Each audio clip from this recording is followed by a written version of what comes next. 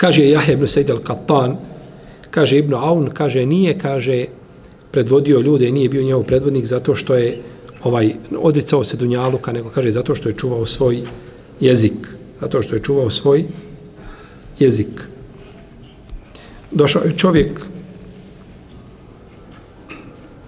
pa je izvrijeđao Al-Harisa ibn Suvejda. Svašta mu se nagovorio? Kaže mu Haris, ko bude radio koliko trun dobra vidjet će ga, a ko bude radio koliko trun zla vidjet će. Sve je zapisano. To je moj odgovor.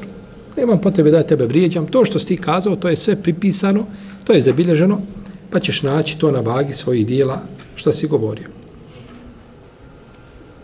Kaže ta Usibn Kejsan, meleki sve čovjeku pišu, pa čak i njegovo jecanje dok je bolestan.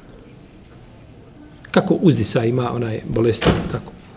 On uzdiše. E i te uzdisaje koji nemaju značenje nikakvo, kaže i to meleki zabilježe. Sve se zabilježi. Ima Mahmed kad je tako i je bio bolestan, pa je e, uzdisao ona na posteli, pa mu je to rečeno, kažu, Tavus kaže tako i tako, i oko Tavus od generacije tabina, nije on jasab čak. Pa je odmah prekinuo. Dok je to rekao moj selef, moj prethodnik, to nije dobro. Pa je prekinuo s tim, iako čovjek ponekad tako sebi šta? Olakšava sebi, naravno, nego da šuti, jel tako?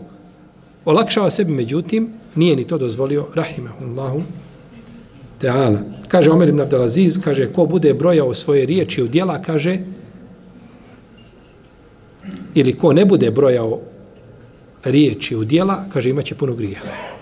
Ko smatra da riječi nisu dijela, kaže, takav će imati puno grijeha. Kaže Biše ibn Haris, kaže, kad pričaš, pa ti se dopadne tvoja priča, kaže, prekini. A kad šutiš pa ti se dopadne šutnja, onda priča. Ovo su riječi koje zlata vrijede. Ti šutiš, sjediš među drugim i ne voliš ništa da progovoriš. Voliš da slušaš, progovori nešto tada. Nije problem. Tada ćeš pričati samo šta po, koliko je potrebno. Kao so u hrani. Ali kad ti se raspričao, ljudi te slušaju, gledaju, prekini.